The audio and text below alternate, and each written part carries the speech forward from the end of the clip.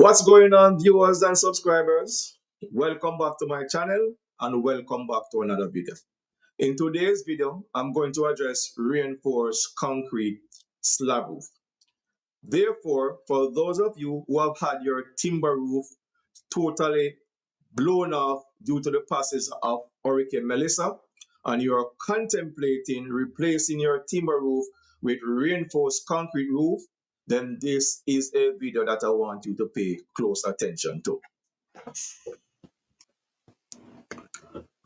Based on the geographical region that Jamaica found itself in, we are exposed to a lot of sunshine. And the more sunshine that your building gets is the more heat absorption. And that is why it is critically important for those of you who are contemplating replacing your timber roof to know that reinforced concrete roof absorb far more energy, far more heat energy than the average timber roof. And that's a critical piece of information that you need to be privy to. Because if your building is absorbing a lot of heat, you are going to be uncomfortable and then you are going to have to install air conditioning to cool your building down and then that is going to increase your energy costs and hence your electricity bill is going to be significantly more. So heat absorption is critical and you have to know how to mitigate against that. Now one way you can mitigate against it it won't totally get rid of it, but it will somewhat reduce the amount of heat energy and increase the comfort level inside your house, right? And that is to increase the height of your building. Finished height should be no less than 10 feet high, between 9 to 10 feet, right? So that means your existing building, you have to probably run probably two more rows of block along with your belt beam. But more than, more than likely, since you have an existing building, you still have to belt that building to receive the slab. Because remember now, the slab and the beam has to be composite for them both to act as one. So in the case or in the event that there's any seismic action, the slab and the beam behave as one unit and one don't shift and leave the other in, in the event that there are any earthquakes or any ground movement. So that is critical. So your floor height, you need to have established a floor height of no more than 10 feet to be comfortable in that building due to heat absorption to reduce the amount the amount of heat that you are going to be exposed to. The second way how you can mitigate against your your building up your building absorbing a lot of heat, you can reduce the amount of heat absorption by applying a reflective coating on top of your deck roof. So what that does now, it reflects the amount of sunlight the building is receiving and hence reduce the amount of heat absorption. All right. Now I'm going to talk to you about the second drawback of your of your of your reinforced concrete roof slab, and that is leaking, and that can be a problem that is somewhat unsolvable, right? So you have to do your pouring of your concrete to ensure that there are no leakage. Remember, concrete is very porous. That means water can pass through very easily. So I'm advising you and im- I'm imploring you that when you're carrying out your pouring of your concrete, you ask the concrete truck to come with a vibrator. What a vibrator does, a, a vibrator reduce the amount of air pockets in the concrete Hence, the concrete will be less porous and, and that will somewhat solve your problem. So, the second way how you can get rid of the, the leakage of your concrete slab is to ensure that there are no depression after you finish pour your concrete. Because if the concrete have depression, what is going to happen when the rain falls? Water is going to settle in those depression and cause leakage, right? So that's another way how you can reduce the problem of leakage. And the third and last and most critical that you must ensure that when during the pouring process of your concrete, your roof is screened and you and in the middle you can have the workman set set that level to about an inch or two high so that the roof is slope on either side so you can establish your water running off your concrete slab right? So you must have a roof slope either side not more than a half inch to an inch fall to ensure that the water from the rain runs off your roof easily without settling on the roof to cause leakage problem.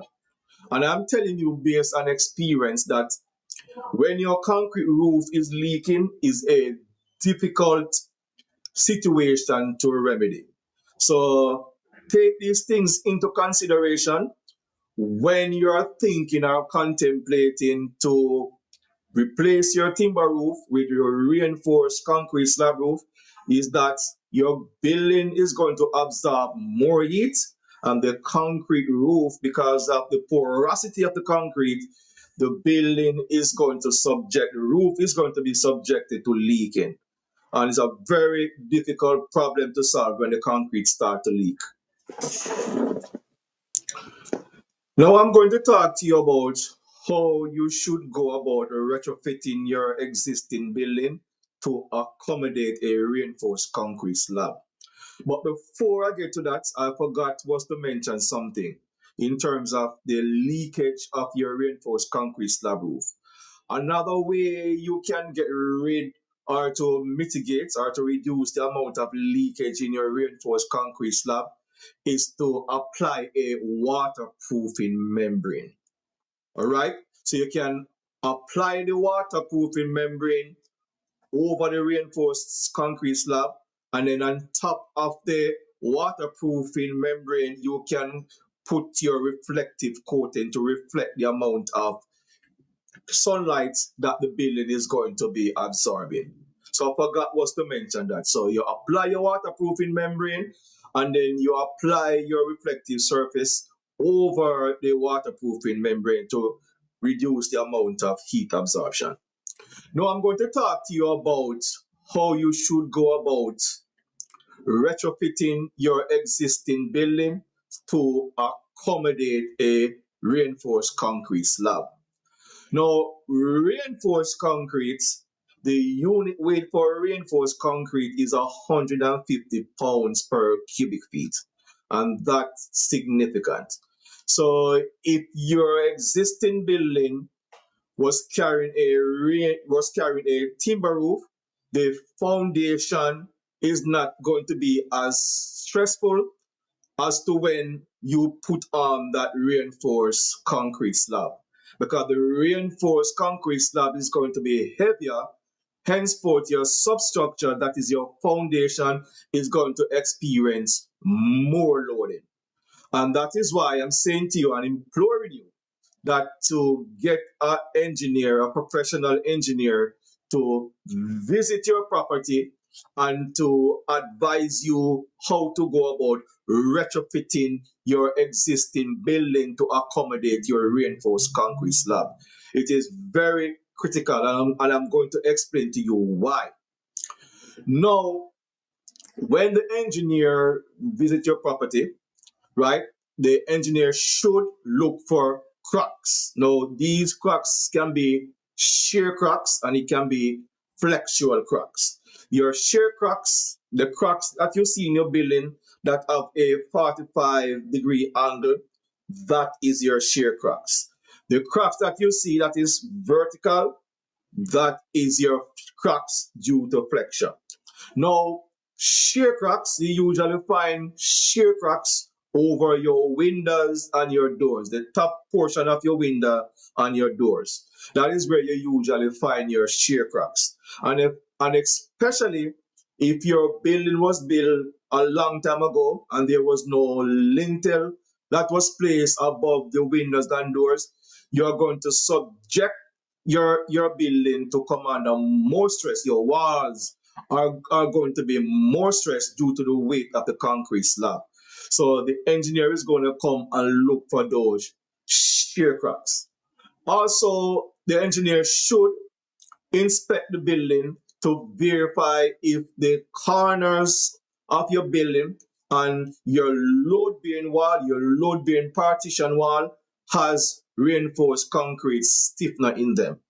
And if there is no stiffener in them, then the engineer is going to recommend that you cut the, cut the walls, cut those intersection, mark you down to foundation and placing the necessary stiffener that's supposed to be there. Along with that, the engineer has to also prepare an engineer report to take to the municipality to verify that he has done his checks and this building is, is, is worthy to carry a reinforced concrete slab. The parish council is going to ask you for an engineer report along with the drawings. This is something that I have done several times already, even from my personal building. So that is why I'm imploring you, do not arbitrarily go about just placing stiffeners all over the place and a professional did not guide you to do that. Another critical piece of information that the engineer is going to inspect the site for or your existing building for is your spans. Now, if your spans is in excess of 20 feet, let's say you have a master bedroom or a living room, which is exorbitant, probably 20 by 20 or 20 by 15, the engineer has to do is what? Is deflection calculation to see if the amount of deflection in the in the new slab that is going to be over those spaces, it is going to be safe. The ACI code limit the deflection to be the, the span divided by 360. I've done two calculations on my channel showing, you demonstrating how to do deflection calculation in your reinforced concrete slab. If you want, you can visit my channel and the videos are there for those of you who want to know a little bit more. So do not go about this in an arbitrary way because remember, we are talking about a hurricane and we are not talking about earthquakes. And Jamaica sits on a very dangerous fault line. It is the Henry Quiller Planting Gardens fault line that runs from the eastern part of the island all the way through the central part of the island to the western part of the island. It so it runs from eastern east to west throughout the center of Jamaica. So we are prone to get violent and catastrophic earthquake. And, and as I've said in a previous video, we can't mitigate against one natural disaster and then create a hazard for another another natural disaster. So we have to take all these things into consideration.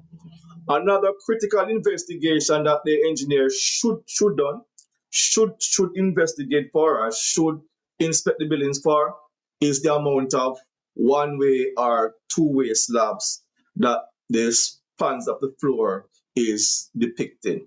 And the engineer would have to design the slab accordingly, whether it's a one-way slab or a two-way slab. So don't just take it onto yourself and say, yes, I'm going to just take off my timber roof and replace it with reinforced concrete roof without going through these steps. All right. So you need to understand first and foremost that a reinforced concrete roof absorb far more heat energy than a typical timber roof. All right. So you're looking up, you're, you're talking about your energy cost there. Second, you're talking about the susceptibility or leakage of your reinforced concrete slab roof. So you have to mitigate against that by placing the waterproofing membrane, right, and placing a reflective surface on top of your waterproofing membrane to reflect the sunlight so that you your building does not absorb as much energy. Right? So you need to take these things in consideration. Third, and most critically, employ the services of a professional engineer to do this for you, especially if you have a big building. If you have like a one or a two or a three bedroom, you might get away with it, right? But if you're and if you have the upper floor, then you probably can get away with it too right? Because the the um the upper floor is already built, so you, you just have to you know you, there's not much retrofitting you can do unless you're gonna dig the corners from the lower floor, come all the way up and put in your stiffness. But I'm talking about like a per a, a, a person with a one-story building, a flat building, to replace a timber roof with a reinforced concrete roof. So let the professional deal with it. Last in the event when another natural disaster come, your building can stand up a little bit better. All right. And as I've said to you on numerous occasions, right, all we can do is try to improve our building. There's no, there's not a hundred percent certainty that your building is going to be totally resistant towards this natural disaster. All right. Thank you for watching. And if you've watched, if you watched the video so far, I thank you for that. In my next video, I'm going to talk to you about timber roof and how you can retrofit your building to build a much better timber roof over your building. All right? Take it easy. No respect. And I'll catch you again. Thank you.